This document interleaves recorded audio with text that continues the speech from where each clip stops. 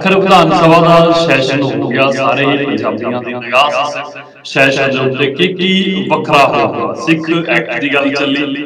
ਇਹਦੇ ਚ vice chancellor ਨੂੰ ਲੈ ਕੇ ਜਿਹੜਾ ਇੱਕ ਖੜਕਾ ਸੀ, ਉਹਦੇ ਨਾਲ ਬਿੱਲ ਪੇਸ਼ ਹੋਇਆ ਵਿਧਾਨ ਸਭਾ ਦੇ ਵਿੱਚ, ਪਾਸ ਹੋਇਆ। ਆਖਰ ਜਦੋਂ ਗਵਰਨਰ ਕੋਲ ਜਾਊਗਾ, ਉਦੋਂ ਕੀ ਕੰਡੀਸ਼ਨ ਹੋਊਗੀ? ਗਵਰਨਰ ਸਾਈਨ ਨਹੀਂ ਕਰੂਗਾ। ਇਸ ਗੱਲ ਦਾ ਹੀ ਗੁਰਬਾਣੀ ਦਾ ਸਦਾ ਪ੍ਰਸਾਰਣ ਸ੍ਰੀ ਹਰਿਮੰਦਰ ਸਾਹਿਬ ਤੋਂ ਗੋਲਡਨ ਟੈਂਪਲ ਤੋਂ ਕਿਸੇ ਇੱਕ ਚੈਨਲ ਦਾ ਇੱਕ ਅਧਿਕਾਰ ਨਹੀਂ ਹੋਣਾ ਚਾਹੀਦਾ now depends on the relationship between Akali Dal and BJP ਉਹ ਕੇਸ ਥਾਂ ਤੇ ਖੜੇ ਆ ਉਹ ਅੰਦਰੋਂ ਅੰਦਰ ਇੱਕ ਦੂਜੇ ਦੇ ਨਾਲ ਖੜੇ ਆ ਜਾਂ ਉਹਦੀ ਤੋੜ ਮੋੜ ਤਾਂ ਇਹ ਇਹ ਰਾਜਪਾਲ ਤੇ ਡਿਪੈਂਡ ਕਰੇਗਾ ਸਾਈਨ ਕਰਦੇ ਆ ਜਾਂ ਨਹੀਂ ਕਰਦੇ ਜੇ ਉਹ ਨਹੀਂ ਵੀ ਕਰਦੇ ਤਾਂ ਇਹ ਦੁਬਾਰਾ ਜਿਹੜੀ ਵਿਧਾਨ ਸਭਾ ਦਾ ਸੈਸ਼ਨ ਜਦੋਂ ਵੀ ਹੋਏ ਹੋਇਆ ਕਿ ਫੈਸਲਾ ਸੱਦ ਕੇ ਫਿਰ ਦੁਬਾਰਾ ਇਸੇ ਹੀ ਅਮੈਂਡਮੈਂਟ ਵਿੱਚ ਕਿਹਾ ਜਾਂਦਾ ਫਿਰ ਉਹ ਵਾਅਦੇ ਹੋ ਜਾਣਗੇ ਉਹਨਾਂ ਨੂੰ ਸਾਈਨ ਕਰਨੇ ਹੀ ਪੈਣਗੇ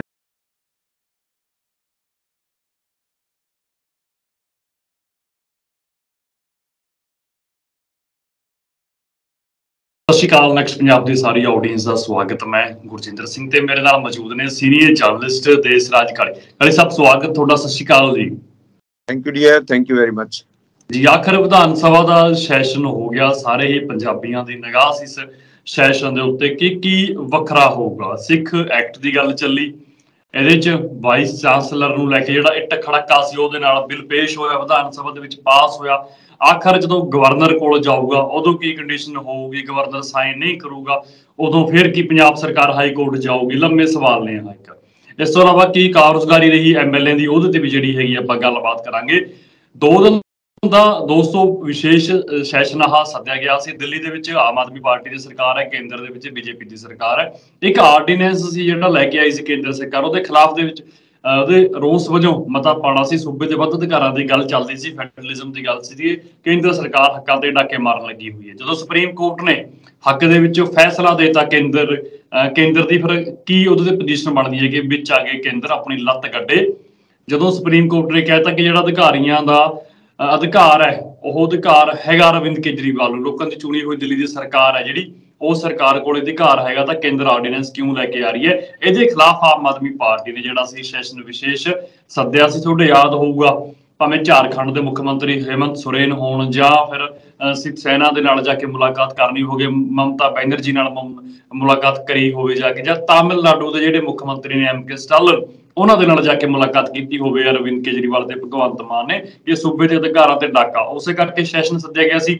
ਵਿੱਚ ਗੱਲ ਚੱਲ ਗਈ ਕਿ ਜਿਹੜਾ ਸਾਡਾ ਸਿੱਖ ਐਕਟ ਬਣਿਆ ਹੋਇਆ, ਪੀਡੀਸੀ ਦਾ ਜਿਹੜਾ ਟੈਂਡਰ ਖਤਮ ਹੋਣਾ ਅੱਗੇ ਜਾ ਕੇ ਜੁਲਾਈ ਦੇ ਵਿੱਚ, ਤਾਂ ਫਿਰ ਅਧਿਕਾਰ ਸਾਰਿਆਂ ਨੂੰ ਹੋਵੇ ਗੁਰਬਾਣੀ ਪ੍ਰਸਾਰਣ ਦਾ। ਇਹਦੀ ਨਾਲ ਦੇ ਨਾਲ ਵਾਈਸ ਚਾਂਸਲਰ ਦੇ ਨਾਲ ਜਿਹੜਾ ਇੱਕ ਸ਼ਬਦੀ ਜੰਗ ਸੀ, ਉਹ ਜੰਗ ਵੀ ਜਮਾ ਸਿਰੇ ਲੱਗੀ ਹੋਈ ਹੈ ਲਗਾਤਾਰ ਚਿੱਠੀਆਂ ਦਾ ਆਦਾਨ ਪ੍ਰਦਾਨ ਹੋ ਰਿਹਾ ਸੀ।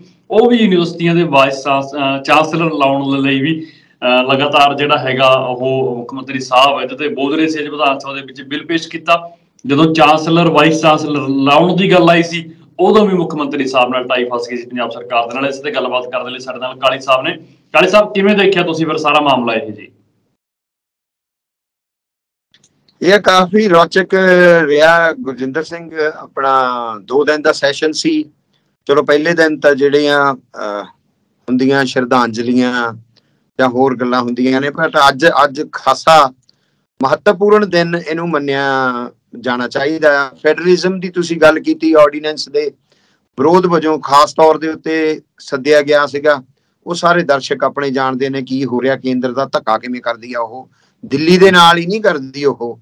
ਕਿਉਂਕਿ ਇੱਥੇ ਆਰਡੀਐਫ ਦੀ ਗੱਲ ਵੀ ਬਹੁਤ ਜ਼ਿਆਦਾ ਤਿੱਖੇ ਰੂਪ ਦੇ ਵਿੱਚ ਇਸ ਸੈਸ਼ਨ ਦੇ ਵਿੱਚ ਲਿਆਂਦੀ ਗਈ। ਰੂਰਲ ਡਿਵੈਲਪਮੈਂਟ ਫੰਡਸ ਜਾਂ ਹੋਰ ਫੰਡਸ ਜਿਹੜੇ ਕੇਂਦਰ ਨੇ ਸੂਬਾ ਸਰਕਾਰਾਂ ਨੂੰ ਦੇਣੇ ਹੁੰਦੇ ਆ, ਉਹ ਜਿੱਥੇ ਜਿੱਥੇ ਬੀਜੇਪੀ ਦੀ ਸਰਕਾਰ ਨਹੀਂ ਹੈ, ਉੱਥੇ ਉੱਥੇ ਤੰਗ ਪਰੇਸ਼ਾਨ ਕੀਤਾ ਜਾ ਰਿਹਾ ਇਹ ਗੱਲ ਵੀ ਬਹੁਤ ਹੰਗਾਮਾ, ਹੰਗਾਮੇ ਵਾਂਗ ਉੱਥੇ ਰੱਖੀ ਗਈ। ਪਹਿਲਾ ਜਿਹੜਾ ਗੁਰਦੁਆਰਾ ਐਕਟ ਹੈ, ਉਹਦੇ ਵਿੱਚ ਵਾਅਦਾ ਕਰਨਾ ਇਸ ਗੱਲ ਦਾ ਕਿ ਗੁਰਬਾਣੀ ਦਾ ਸਿੱਧਾ ਪ੍ਰਸਾਰਣ ਸ੍ਰੀ ਹਰਮੰਦਰ ਸਾਹਿਬ ਤੋਂ 골ਡਨ ਟੈਂਪਲ ਤੋਂ ਕਿਸੇ ਇੱਕ ਚੈਨਲ ਦਾ ਇੱਕ ਅਧਿਕਾਰ ਨਹੀਂ ਹੋਣਾ ਚਾਹੀਦਾ। 11 ਸਾਲ ਤੋਂ ਪੀਟੀਸੀ ਚੈਨਲ ਦੇ ਉੱਤੇ ਉਹਨਾਂ ਨੂੰ ਅਨੁਬੰਧ ਕੀਤਾ ਗਿਆ ਸੀ ਐਗਰੀਮੈਂਟ ਕੀਤਾ ਗਿਆ ਸੀਗਾ ਜਿਹੜਾ 21 ਜੁਲਾਈ ਨੂੰ ਖਤਮ ਹੋ ਜਾਣਾ ਉਹ ਜਿਹੜੀ ਅਮੈਂਡਮੈਂਟ ਹੈ, ਸੋਧ ਹੈ 2023 ਦੀ ਗੁਰਦੁਆਰਾ ਐਕਟ ਦੇ ਵਿੱਚ, ਉਹ ਕੱਲ ਅੱਜ ਐਕਟ ਉਹ ਬਣਾ ਦਿੱਤਾ ਗਿਆ। ਉਹ ਵੀ ਰਾਜਪਾਲ ਸਾਹਿਬ ਕੋਲ ਜਾਏਗਾ। Now it's depends on the relationship between Akali Dal and BJP ਉਹ ਕੇਸ ਥਾਂ ਤੇ ਖੜੇ ਆ। ਉਹ ਅੰਦਰੋਂ ਅੰਦਰ ਇੱਕ ਦੂਜੇ ਦੇ ਨਾਲ ਖੜੇ ਆ ਜਾਂ ਅੰਦਰੋਂ ਅੰਦਰ ਸੱਚੀਆਂ ਤੋੜ ਵਿਛੋੜਾ ਹੋ ਚੁੱਕਾ।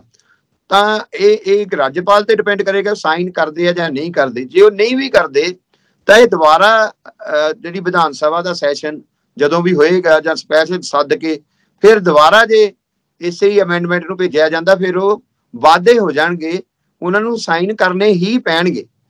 ਔਰ ਇਹਦੇ ਨਾਲ ਬੜਾ ਬੜਾ ਤੜਫਣ ਤੜਫਣ ਜਿਹੀ ਇੱਧਰ ਉੱਧਰ ਲੱਗੀ ਹੋਈ ਹੈ।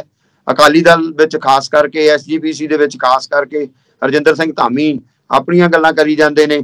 ਸੁਖਬੀਰ ਬਾਦਲ ਆਪਣੀਆਂ ਕਦੇ ਜਾਂਦਾ ਉਹ ਭਗਵੰਤ ਮਾਨ ਹੋਰਾਂ ਨੂੰ ਕਦੇ ਮੁਗਲ ਦੱਸਦਾ ਜਿਨ੍ਹਾਂ ਨੇ ਹਮਲਾ ਕੀਤਾ ਦਰਬਾਰ ਸਾਹਿਬ ਦੇ ਉੱਤੇ ਕਦੇ ਅੰਗਰੇਜ਼ ਦੱਸਦਾ ਜਿਨ੍ਹਾਂ ਨੇ ਪਸੰਦ ਬਿਠਾਇਆ ਸੀ ਕਦੇ ਇੰਦਰਾ ਗਾਂਧੀ ਦੱਸਦਾ ਇਹਨਾਂ ਨੇ ਫੌਜਾਂ ਚਾੜਤੀਆਂ ਤੋਪਾਂ ਬੀੜਤੀਆਂ ਗੋਲੀਆਂ ਚਲਾਤੀਆਂ ਅਕਾਲ ਤਖਤ ਢਾਤਾ ਛਲਣੀ ਕਰ ਦਿੱਤਾ। ਉਹ ਸੁਖਵੀਰ ਬਾਦਲ ਉਹ ਤੜਫਿਆ ਹੋਇਆ। ਹੁਣ ਸੌਖਾ ਸੌਖਾ ਜਿਹਾ ਤੇ ਗੱਲ ਹੈ। ਗੁਰਿੰਦਰ ਸਿੰਘ ਕਿ ਭਾਈ ਟੀਸੀ ਚੈਨਲ ਹੈ। ਇੱਕ ਅਧਿਕਾਰ ਤੁਸੀਂ 11 ਸਾਲਾਂ ਦਾ ਦਿੱਤਾ ਹੋਇਆ ਉਹਨੂੰ। ਤੁਸੀਂ ਮਾਲਕ ਹੋ। ਹਨਾ? ਘਰ ਦੀ ਗੱਡੀ ਤੇ ਗੰਡਾ ਸੀ ਉਹ ਗਾਰਡ। ਮਾਲਕ ਵੀ ਤੁਸੀਂ ਹੋ। ਐਸਜੀਪੀਸੀ ਵੀ ਤੁਹਾਡੇ ਕੋਲ ਹੀ ਹੈ ਸਾਰੇ ਦਾ ਸਾਰਾ। ਤੁਹਾਡੇ ਲਫਾਫਿਆਂ ਦੇ ਵਿੱਚੋਂ ਤਾਂ ਐਸਜੀਪੀਸੀ ਦਾ ਪ੍ਰਧਾਨ ਨਿਕਲਦਾ ਆ ਫੋਟੋ ਵਾਇਰਲ ਹੋਣ ਡਈ ਆ। ਕਈ ਤਰ੍ਹਾਂ ਦੀਆਂ ਫੋਟੋ ਵਾਇਰਲ ਹੋਣ ਡੀਆਂ ਮੈਂ ਉਹਦੇ ਨਹੀਂ ਜਾਂਦਾ, ਆਪਾਂ ਸੈਸ਼ਨ ਦੇ ਉੱਤੇ ਗੱਲ ਰੱਖਦੇ ਆ ਤੇ ਸੌਖਾ ਹੀ ਆ ਭਾਈ, ਇਹ ਤਾਂ ਸਿੱਧੀ ਸਿੱਧੀ ਆਰਥਿਕ ਲੜਾਈ ਹੈ। ਇਹ ਤਾਂ ਸਿੱਧੀ ਸਿੱਧੀ ਪੋਲੀਟੀਕਲ ਧੌਂਸ ਦੀ ਲੜਾਈ ਹੈ। ਇਹਦੇ ਨਾਲ ਪੈਸੇ ਜੁੜੇ ਹੋਏ ਨੇ। ਤੁਸੀਂ ਕੇਬਲ ਦੇ ਬਾਹਰ ਜੇ ਨਹੀਂ ਵੀ ਲੈਂਦੇ ਐਸਜੀਪੀਸੀ ਤੋਂ ਨਹੀਂ ਵੀ ਪੈਸੇ ਲੈਂਦੇ ਐਡਵਰਟਾਈਜ਼ਮੈਂਟ ਨਹੀਂ ਵੀ ਦਿਖਾਉਂਦੇ, ਤਾਂ ਭਾਈ ਤੁਹਾਡੀ ਕੇਬਲ ਚੱਲਦੀ ਹੈ। ਜਿਹੜੇ ਲੋਕ ਸ਼ਰਧਾਵਾਨ ਲੱਖਾਂ ਕਰੋੜਾਂ ਜਿਹੜੇ ਸ਼ਰਧ ਡਾਕਟਰ ਗੁਰਬਾਣੀ ਪ੍ਰਸਾਰਣ, ਭਾਈ ਉਹਨਾਂ ਨੂੰ ਤੁਹਾਡੇ ਕੇਬਲ ਤੇ ਡਿਪੈਂਡ ਕਰਨਾ ਪਏਗਾ। ਤੇ ਫਿਰ ਉਹ ਕੇਬਲ ਦਾ ਉਹ ਜਿਹੜਾ ਕਰੋੜਾਂ ਰੁਪਈਆ ਆ, ਉਹਦਾ ਉਹਨੂੰ ਕਿਸੇ ਅਕਾਊਂਟ 'ਚ ਨਹੀਂ ਰੱਖਦੇ ਤੁਸੀਂ। ਪਾਰੇ ਮੈਂ ਮੈਂ ਪੰਜਾਬ ਸਰਕਾਰ ਦੀ ਇਸ ਗੱਲ ਨਾਲ ਸਹਿਮਤ ਹਾਂ ਕਿ ਇਹ ਇੱਕ ਅਧਿਕਾਰ ਟੁੱਟਣਾ ਚਾਹੀਦਾ ਔਰ ਇਹ ਕੋਈ ਵੀ ਚੈਨਲ ਜਿਹੜਾ ਵੀ ਸ਼ਰਧਾ ਵਾਸ ਚਲਾਉਣਾ ਅੱਛਾ, ਇਹਨਾਂ ਨੇ ਮਰਿਆਦਾ ਦੀ ਗੱਲ ਕੀਤੀ। ਉਹਨਾਂ ਨੇ ਉਹਦਾ ਹਾਲ ਕਰਤਾ। ਉਹ ਕਹਿੰਦੇ ਜੀ, ਅਨੁਬੰਧ ਕਰਤਾ। ਉਹਦੇ ਵਿੱਚ ਲਿਖ ਦਿੱਤਾ ਐਕਟ ਦੇ ਵਿੱਚ ਕਿ ਜਿਹੜਾ ਵੀ ਚੈਨਲ ਚਲਾਏਗਾ, ਉਹ ਅੱਧਾ ਘੰਟਾ ਪਹਿਲਾਂ ਪ੍ਰਸਾਰਣ ਤੋਂ ਡਿਊਰਿੰਗ ਪ੍ਰਸਾਰਣ ਸਾਰਾ ਤੇ ਅੱਧਾ ਘੰਟਾ ਬਾਅਦ ਦੇ ਵਿੱਚ ਕੋਈ ਐਡਵਰਟਾਈਜ਼ਮੈਂਟ ਨਹੀਂ ਚਲਾਏਗਾ। ਮਰਿਆਦਾ ਦੀ ਗੱਲ ਹੈ ਨਾ। ਕੱਲੀ ਪੀਟੀਸੀ ਨੂੰ ਥੋੜੋ ਮਰਿਆਦਾ ਆਉਂਦੀ ਹੈ ਸਾਰਿਆਂ ਨੂੰ ਮਰਿਆਦਾ ਆਉਂਦੀ ਹੈ ਸਾਰੇ ਸਿੱਖੀ 'ਚ ਮਰਿਆਦਾ ਰੱਖਦੇ ਨੇ, ਸਾਰੇ ਸ਼ਰਧਾ ਰੱਖਦੇ ਨੇ। ਸੋ ਇਹ ਵੀ ਉਹਨਾਂ ਨੇ ਭਲੇਖਾ ਜਿਹੜਾ ਉਹ ਦੂਰ ਕਰਤਾ। ਹੁਣ ਇਹ ਡਿਪੈਂਡ ਕਰੇਗਾ ਸਾਡੇ ਰਾਜਪਾਲ ਦੇ ਕੋਲ। ਮੁੜ ਕੇ ਫਿਰ ਸਰਕਾਰ ਕੋਲ ਆ ਜਾਏਗਾ। ਕਿੰਨੀ ਕੁ ਲੜਾਈ ਚੱਲਦੀ, ਕਿੱਦਾਂ ਚੱਲਦਾ। ਸੈਕੰਡ ਬਹੁਤ ਇੰਪੋਰਟੈਂਟ ਜਿਹੜੀ ਗੱਲ ਤੁਸੀਂ ਕੀਤੀ ਆ, ਉਹ ਹੈ ਯੂਨੀਵਰਸਿਟੀਆਂ ਦੇ ਚਾਂਸਲਰ ਦੀ। ਉਹ ਵੀ ਐਕਟ ਬਣਾਤਾ ਗਿਆ। ਕਿਉਂਕਿ ਬਾਰ-ਬਾਰ ਕੇਂਦਰ ਜਿਹੜਾ ਆ ਇਹ ਸਾਡੇ ਮੁੱਖ ਮੰਤਰੀ ਭਗਵੰਤ ਮਾਨ ਹੋਰਾਂ ਨੇ ਵੀ ਕਿਹਾ ਕਿ ਜਿੱਥੇ ਜਿੱਥੇ ਵੀ ਬੀਜੇਪੀ ਤੋਂ ਬਾਹਰਲੀਆਂ ਪਾਰਟੀਆਂ ਦੀਆਂ ਸਰਕਾਰਾਂ ਨੇ ਉੱਥੇ ਰਾਜਪਾਲ ਦੇ ਥਰੂ ਤੰਗ ਪਰੇਸ਼ਾਨ ਕੀਤਾ ਜਾਂਦਾ ਹੈ। ਚੁਣੀਆਂ ਹੋਈਆਂ ਸਰਕਾਰਾਂ ਨੂੰ। ਆਪਾਂ ਦੂਰ ਨਹੀਂ ਜਾਂਦੇ। ਆਪਾਂ ਦਿੱਲੀ ਦੇਖ ਲੈਨੇ ਆ ਆਪਾਂ ਪੰਜਾਬ ਦੇਖ ਲੈਨੇ ਆ ਆਪਾਂ ਪੱਛਮੀ ਬੰਗਾਲ ਦੇਖ ਲੈਨੇ ਆ ਉਹ ਕਿਵੇਂ ਇੰਟਰਫੇਰੈਂਸ ਉਹਨਾਂ ਦੀ ਹੈਗੀ ਹੈ ਉਹ ਹੁੰਦੀ ਹੈ।